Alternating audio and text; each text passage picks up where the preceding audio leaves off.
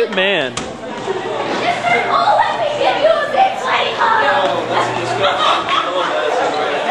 Oh, you dissed a kid on camera.